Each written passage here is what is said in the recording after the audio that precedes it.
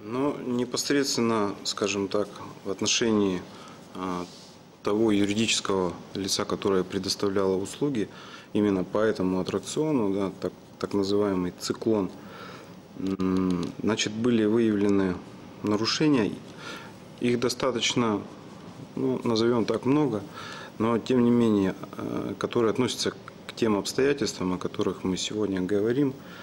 Э, Там участие принимала, точнее, в отношении э, несовершеннолетнего, которому на период, на момент да, происшествия было 10 лет, э, также предоставлялись э, услуги этому несовершеннолетнему, этой несовершеннолетней.